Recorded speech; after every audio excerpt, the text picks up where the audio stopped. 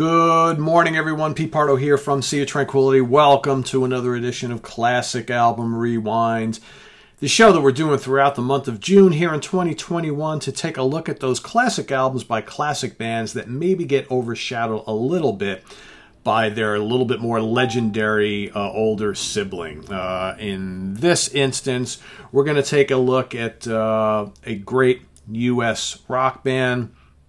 Maybe you've heard of them, Styx right? The album in question is going to be uh, from 1978, released September 1st for the A&M Records label, produced by the band, recorded at Paragon Studio, recording studios in Chicago and St. James Cathedral in Chicago, Illinois. Of course, we're talking about Styx, Pieces of Eight.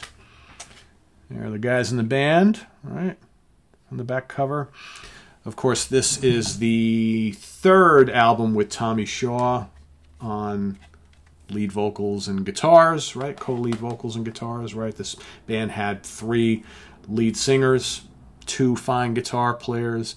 All right, this album, of course, follows from 1977 what many consider, and perhaps myself included, uh, their absolute masterpiece, The Grand Illusion. Huge selling album, right? Absolute classic. Hard rock, pop, progressive rock, it's all here, folks. Um, but I will say, Pieces of Eight follows closely on its heels. Some great songs on here. Again, uh, these two albums really give you the taste of uh, everything that Styx was all about, right? And you've got uh, multiple vocalists, like I mentioned before. Everybody's writing. Uh, you know, of course, Dennis DeYoung on vocals and keyboards, uh, James J. Y. Young on vocals and guitars. You've got Tommy Shaw on vocals, guitars, mandolin, Chuck Panozzo on bass guitar, and John Panozzo on drums and percussion. That is, this is the classic lineup of the band. Uh, starting off, you got the big, heavy, Great White Hope, right? Big, big rocker written by James Young. Of course, uh, he and Dennis share lead vocals on this particular track. Good rocker to kick off the album, right? Then we go to a Dennis DeYoung track all right, also sung by him called I'm Okay. I'm Okay's got the big church organ, right? The soaring vocals, really, really memorable track. Is it prog? Is it pop? Is it pop? It's a little bit of all that stuff, right? Uh, then we go to the Tommy Shaw track, first Tommy Shaw track on the album called Sing for the Day. Lovely little folky pop ditty, right? Uh, got a little bit of prog, got cool prog keyboards as well. But, you know, what a vocalist, Tommy Shaw. What a songwriter. I mean, just such a feel good song. All right, so right there, you've got the first three tracks, really different elements going on all three of them. Gives you a nice variety right off the bat. Uh, then you've got the cool little proggy synth uh, instrumental called The Message. All right, it's all Dennis DeYoung right there. Very cool, great keyboard player. and then from there, we go into the last track on side A of the LP, which is Lords of the Ring. Okay. All Hail to the Lords of the Ring. Dun-dun-dun. Written by Dennis DeYoung, sung by Mr. James Young. In the year of the Lord. Great, great song. Majestic, heavy, proggy. Love it. That ends side one. So side one, you got a little bit everything here. You got some good hard rock, you got some pop, you got some prog, right? Got some pomp. Then we go on to side two, or the second half of the CD. So starting off with Blue Collar Man, Long Nights. Uh, an FM radio staple since the year this album was released, uh, written by Tommy Shaw, also sung by Tommy Shaw. Big, hard rocking song. Love that organ in the beginning. I mean, just awesome. Um, great, great song. Easily a top 10 Styx song of all time. So anthemic, hard rock muscle. Awesome. From there, we go to what is perhaps, if it's not my favorite Styx song of all time, it's in the top three.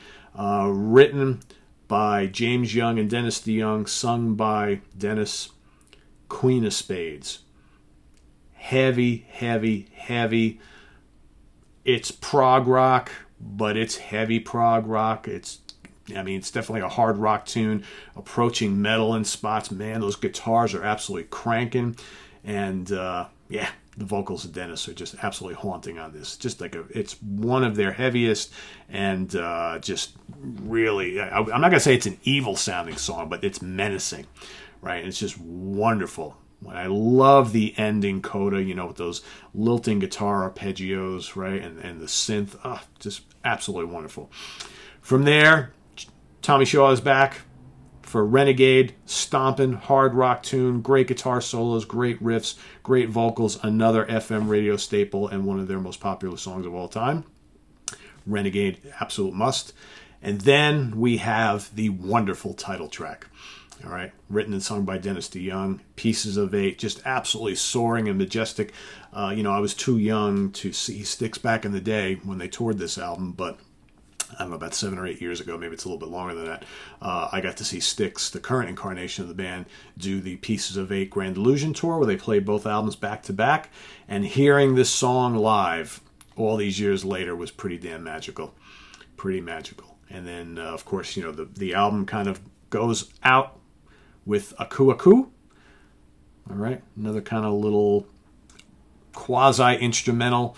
All right, written by Tommy Shaw, great guitars and keyboards on this. Uh, you got Tommy doing a little bit of vocalizations, but for the most part, it's just a uh, really cool kind of proggy instrumental thing that kind of takes the band out. So there you have it, man. Some great, great songs. I just love this album to death. Uh, great White Hope, I'm Okay, Sing for the Day, The Message, Lords of the Ring, Blue Collar Man, Queen of Spades, Renegade, Pieces of Eight, and Aku Aku. Our classic album rewind for today, Pieces of Eight. If you haven't ever listened to this album, as I say every day, what are you waiting for? Now's the time. For those of you who uh, wait for these videos every morning for something that you to listen to for the day, well, go pull it off the shelf, pull it up on Spotify or YouTube or your cassette or your LP, whatever you got. Play this today. Give it some love. Uh, it is the, you know, like I said, so some people like it better than this one. I think generally speaking, when you look at the career of this band, this is the one that gets most of the, the major acclaim. But this is right, right there with it. There were there were times in my life where I actually rated ranked this higher than Grand Illusion of the last like you know 10, 15 years or so. Grand Illusion, generally speaking, is my number one, but this is right there with it.